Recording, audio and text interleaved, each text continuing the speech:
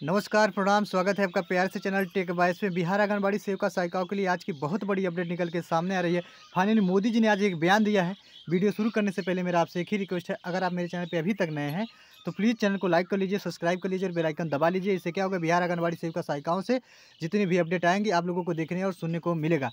मैं आप लोगों को बता देना चाहता हूँ कि मोदी जी ने एक मंच पर ऐलान कर दिया है कि बिहार की आंगनबाड़ी सेविका सहायिका एवं आशा कर्मियों का जो है मानदेय पूरी तरह से बढ़ा दिया गया है। अब बिहार की आंगनबाड़ी सेविका सहायिकाओं को जो है धरना प्रदर्शन, हड़ताल करने की ज़रूरत नहीं है।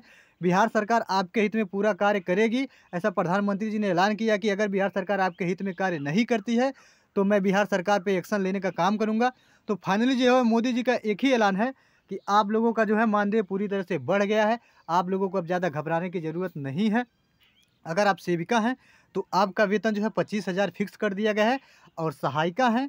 तो आपका पंद्रह हज़ार के आसपास वेतन फिक्स हो गया है और आप लोगों को बता देना चाहते हो, अगर आप आशा कर्मी हैं तो आपको वहीं अट्ठारह हज़ार वेतन मिलने वाला है। और मिनी आंगनबाड़ी की बात कर ली जाए तो वो भी जो है पंद्रह हज़ार के आसपास आप लोगों का वेतन फिक्स हो गया है। तो आंगनबाड़ी सेविका सहायिकाओं के लिए बहुत बड़ी खुशखबरी है। जैसा कि आप लोग देखेंगे कि बिहार सरकार आप लोगों को ऐलान पे ऐलान किए जा रही थी कि आप लोगों का मानदेय बढ़ा दिया जाएगा, आप लोगों का मानदेय बढ़ा दिया जाएगा। आप लोग अपने धरना प्रदर्शन और हड़ताल को बंद कर दीजिए। फाइनली जैसा कि आप लोगों को बता देना चाहता हूँ कि हड़ताल जो है बंद हो चुका है, लेकिन वहीं नीतीश कुमार का एक ही ऐलान है कि अब जो है आप लोगों की मानदेय पूरी तरह से बढ़ा दी गई है। आंगनबाड़ी सेविका सहायिकाओं ने बिहार सरकार की बात मानी। अब जो है आंगनबाड़ी सेविका सहायिकाओं के हित में बिहार सरकार पूरा का पूरा कार्य करेगा।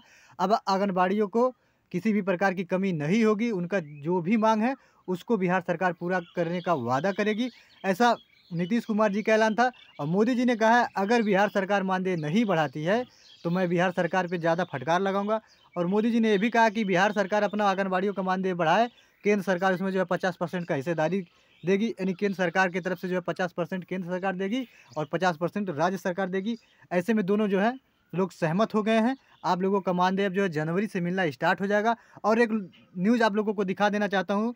आप लोग बने रहिए वीडियो में। सबसे पहले न्यूज़ को देख लीजिए, फिर आगे की बात करता हूँ। आप देखेंगे ये हिंदुस्तान न्यूज़ का कटिंग है। आप लोग देखेंगे। आंगनबाड़ी सेविका एवं सहायिकाओं का चार प्रमुख संगठनों के बैनर तले 29 सितंबर से लगातार आंदोलनरत थे। इन संगठनों में बिहार राज्य के संयुक्त राज्य संघर्ष समिति, बिहार राज्य आंगनबाड़ी कर्मचारी संघ, बिहार प्रदेश आंगनबाड़ी संघ, इंटक एवं बिहार राज्य आंगनबाड़ी कर्मचारी यूनियन शामिल है, जिसमें जिला स्तर पर, राज्य और स्तर पर इन संघों के माध्यम से मानदेय में वृद्धि, श्रम कानून को लागू करने के अन्य मांगों को सरकार के साथ रखा गया है। विभागीय स्तर पर अधिकारियों के साथ संघ शिष्टमंडलों के साथ बातचीत भी हुई। अंतिम निर्णय सरकार के स्तर पर लिया जाना है। बिहार प्रदेश के आंगनबाड़ी संघ इंटक के रूप उप महासंरक्षक अखिलेश पांडे के अनुसार राज्य की महागठबंधन सरकार के आंगनबाड़ी सेविका एवं सहायिकाओं की वर्तमान स्थिति को देखते हुए उनके प्रति सकारात्मक रुख अपनाने का भरोसा दिया है। यानी बिहार सरकार ने ऐलान कर दिया है कि आप सभी आंगनबाड़ी सेविका सहायिकाओं का मानदेय पूरी तरह से बढ़ा दिया जाएगा। आप लोगों का जो मानदेय होगा, मैं आपको अपने हर वीडियो में बताता हूँ कि आप लोगों का जो मानदेय बढ़ के मिलेगा, वो जनवरी से मिलेगा। दिसंबर महीने में सिर्फ़ कागज़ी कार्रवाई चलेंगी। दिसंबर महीने में आप लोगों का मानदेय नहीं मिलने वाला है और जनवरी का मानदेय आप लोगों का जाएगा भी नहीं। आप लोगों का जनवरी का मानदेय जो होगा, वो पंद्रह हज़ार से पच्चीस हज़ार के पास मिलेगा। आप लोग ये हर एक चैनल और न्यूज़ चैनलों के माध्यम से देख रहे होंगे कि बिहार सरकार जो है, आप लोगों के प्रति बहुत ही सकारात्मक विचार प्रस्तुत की है, आप लोगों के हित में पूरा का पूरा कार्य कर रही है। अब ऐसे में बहुत सारे जो भी चयन मुक्त कार्यकर्ता हुए थे, उनका डर है कि क्या मैं फिर से वापस नौकरी पे आऊँगा? तो अब आप लोगों को ज़्यादा परेशान होने की ज़रूरत नहीं है। चयन मुक्त कार्यकर्ता, आप इसी दिसंबर महीने में आपको फिर से नौकरी पर बुला लिया जाएगा। आप लोगों को भी मानदेय मिलना स्टार्ट हो जाएगा। आप लोगों को ज़्यादा घबराने की ज़रूरत नहीं है।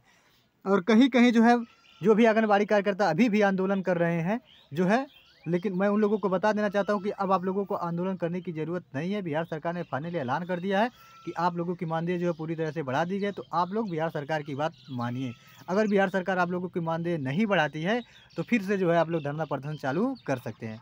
उम्मीद है ये वीडियो आपको पसंद आया होगा। अगर ये वीडियो आपको पसंद आया तो प्लीज़ चैनल को लाइक कर लीजिए, सब्सक्राइब कर लीजिए और बेलाइकन दबा लीजिएगा। धन्यवाद। जय हिंद।